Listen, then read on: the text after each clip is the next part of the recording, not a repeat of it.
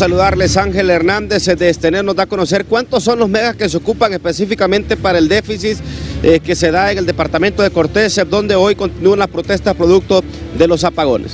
Gracias, licenciado. Bueno, eh, el déficit que hay en el país, el 70% eh, se necesita en, Cortés.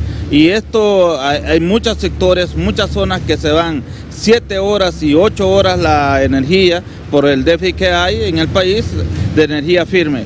En otros lugares que se va hasta 5 y 3 horas. Entonces, lo que podemos ver y, aquí es que hay una crisis en la energía, en la ENE, en cuanto a la energía potencia firme.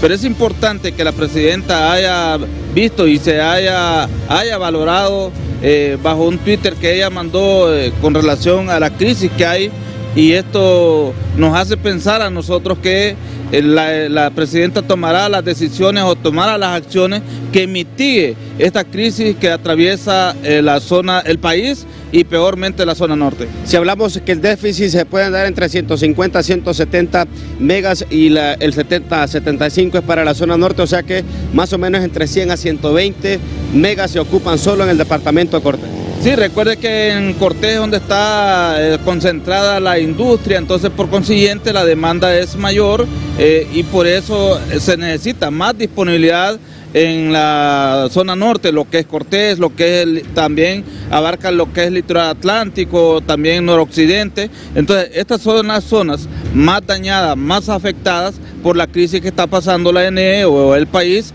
en cuanto a energía.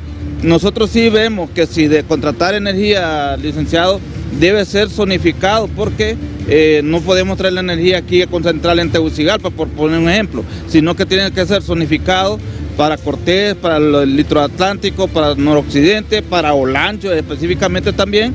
Entonces, así debe ser distribuida la licitación y la contratación de potencia firme para abastecer o para eh, resolver los problemas que estamos atravesando hoy. Muchas gracias. Sobre este tema de la situación que pasa en el eh, sector energético en nuestro país, junto a Alan Godoy con ustedes.